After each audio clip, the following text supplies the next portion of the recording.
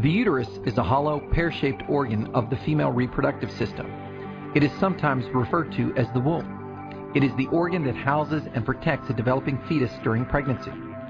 The term uterine cancer refers to cancers affecting the uterus, endometrium, and cervix. Endometrial cancer is cancer of the endometrium, the inside lining of the uterus. The most common symptom is irregular bleeding.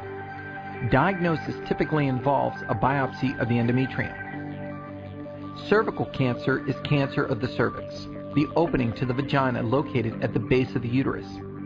Usually, patients with cervical cancer do not experience symptoms until the cancer is advanced and has spread.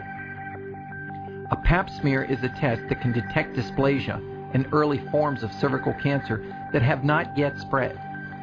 Most women diagnosed today with cervical cancer have either not had regular pap smears or they have not followed up after having an abnormal pap result. Symptoms of cervical cancer include vaginal bleeding, especially after intercourse, pelvic pain, and vaginal discharge.